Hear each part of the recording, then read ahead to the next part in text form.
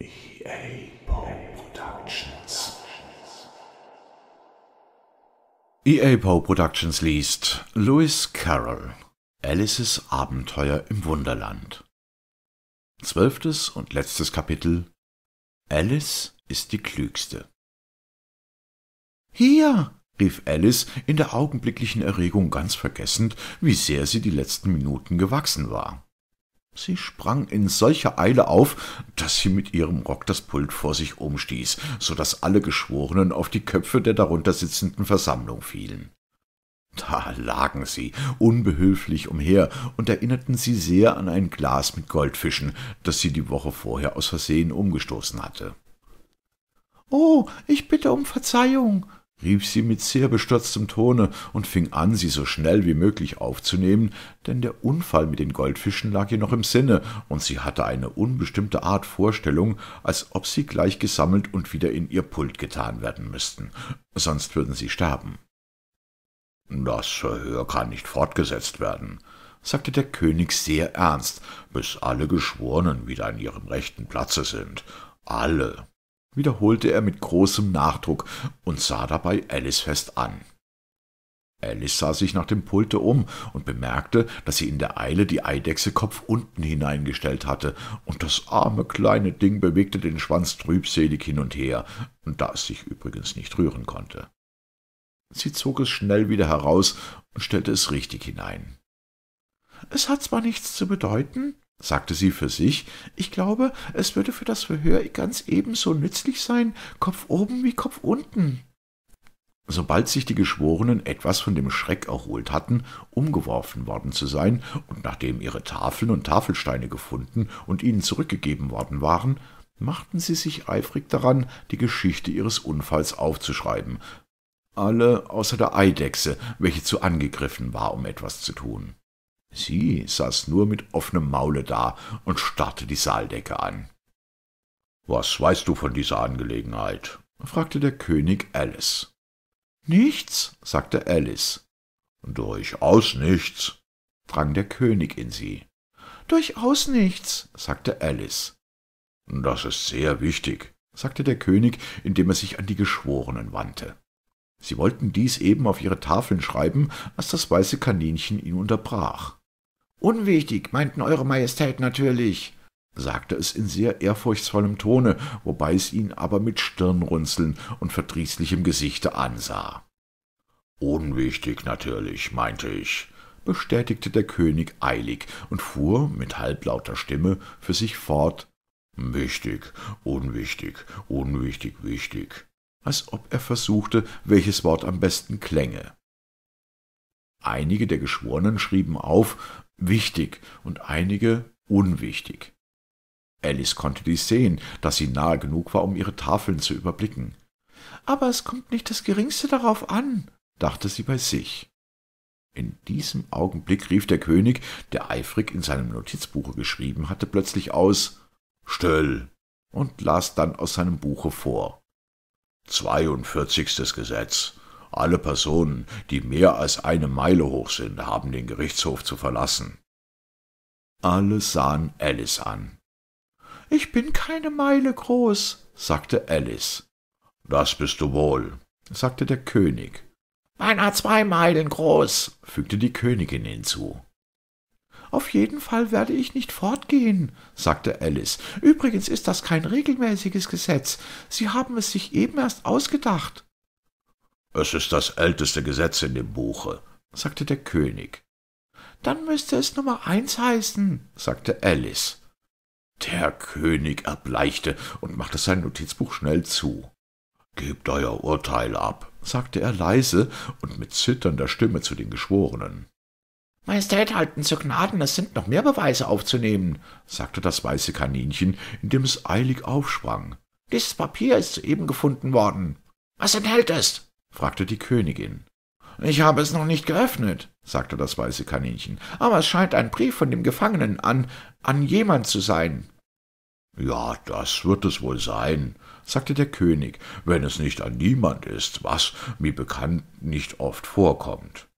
An wen ist es adressiert? fragte einer der Geschworenen. Es ist gar nicht adressiert, sagte das weiße Kaninchen. Überhaupt steht auf der Außenseite gar nichts. Es faltete bei diesen Worten das Papier auseinander und sprach weiter. Es ist übrigens gar kein Brief, es sind Verse. Sie sind in der Handschrift des Gefangenen? fragte ein anderer Geschworener. Nein, das sind sie nicht, sagte das weiße Kaninchen, und das ist das Merkwürdigste dabei. Die Geschworenen sahen alle ganz verdutzt aus. Es muss eines andern Handschrift nachgeahmt haben, sagte der König. Die Gesichter der Geschworenen klärten sich auf. Euer Majestät halten zu Gnaden, sagte der Bube, ich habe es nicht geschrieben, und niemand kann beweisen, dass ich es geschrieben habe. Es ist keine Unterschrift darunter. Wenn du es nicht unterschrieben hast, sagte der König, so macht das die Sache nur schlimmer. Du musst schlechte Absichten dabei gehabt haben, sonst hättest du wie ein ehrlicher Mann deinen Namen darunter gesetzt. Hierauf folgte allgemeines Beifallklatschen. Es war der erste wirklich kluge Ausspruch, den der König an dem Tage getan hatte. Das beweist seine Schuld, sagte die Königin. Es beweist durchaus gar nichts, sagte Alice. Ihr wisst ja noch nicht einmal, worüber die Verse sind. Lies sie, sagte der König. Das weiße Kaninchen setzte seine Brille auf. Wo befehlen Euer Majestät, dass ich anfangen soll? fragte es. Fange beim Anfang an, sagte der König ernsthaft, und lies, bis du ans Ende kommst, dann halte an. Dies waren die Verse, welche das weiße Kaninchen vorlas. Ich höre ja, du warst bei mir, und dass es mir es könnt. Sie sprach, sie hielte viel von mir, wenn ich nur schwimmen könnt. Er schrieb an sie, ich ginge nicht, nur wussten wir es gleich. Wenn ihn viel an der Sache liegt, was würde dann aus euch? Ich gab ihr eins, sie gab ihm zwei, ihr gabt uns dreimal vier. Jetzt sind sie hier, er steht dabei, doch alle gehörten erst mir. Würd ich und sie vielleicht darein verwickelt und verfahren, vertraut er dir, sie zu befreien, gerade wie wir waren. Ich dachte schon in meinem Sinn, eh sie den Anfall hätt, ihr wärt derjenige, der ihn, es und uns hindertet. Sag ihm um keinen Preis, dass ihr die andern lieber waren, denn keine Seele außer dir und mir darf dies erfahren. Das ist also das wichtigste Beweisstück, das wir bis jetzt gehört haben, sagte der König, indem er sich die Hände rieb. Lasst also die Geschworenen. Wenn es einer von ihnen erklären kann, sagte Alice, sie war die letzten paar Minuten so sehr gewachsen, dass sie sich gar nicht fürchtete, ihn zu unterbrechen, so will ich ihm sechs Dreier schenken. Ich finde, dass auch keine Spur von Sinn darin ist. Die Geschworenen schrieben alle auf ihre Tafeln, sie findet, dass auch keine Spur von Sinn darin ist, aber keiner versuchte das Schriftstück zu erklären. Wenn kein Sinn darin ist, sagte der König, das spart uns ja ungeheuer viel Arbeit, dann haben wir nicht nötig, ihn zu suchen. Und dennoch weiß ich es nicht, fuhr er fort, indem er das Papier auf dem Knie ausbreitete und es prüfend beäugelte. Es kommt mir vor, als könnte ich etwas Sinn darin finden, wenn ich nur schwimmen könnt. Du kannst nicht schwimmen, nicht wahr? wandte er sich an den Buben. Der Bube schüttelte traurig das Haupt. Sehe ich etwa danach aus? Was freilich nicht der Fall war, da er gänzlich aus Papier bestand. Das trifft zu, soweit, sagte der König und fuhr fort, die Verse leise durchzulesen. Nur wussten wir es gleich, das sind die Geschworenen natürlich. Ich gab ihr eins, sie gab ihm zwei. Jawohl, so hat er's mit den Kuchen gemacht, versteht sich. Aber es geht weiter. Jetzt sind sie hier, sagte Alice. Freilich, das sind sie ja. Er steht doch dabei, sagte der König triumphierend und wies dabei nach dem Kuchen auf dem Tische und nach dem Buben. Nichts kann klarer sein. Dann wieder, ehe sie den Anfall hätt. Du hast nie einen Anfall gehabt, Liebe, glaube ich, sagte er zu der Königin. Niemals, rief die Königin wütend und warf dabei der Eidechse ein Tintenfass an den Kopf. Der unglückliche kleine Wabbel hatte aufgehört, mit dem Finger auf seiner Tafel zu schreiben, da er merkte, dass es keine Spuren hinterließ. Doch nun fing er eilig wieder an, indem er die Tinte benutzte, die von seinem Gesichte herabträufelte, solange diese vorhielt. Dann ist dies nicht dein Fall, sagte der König und blickte lächelnd im ganzen Saale herum. Alles blieb totenstill.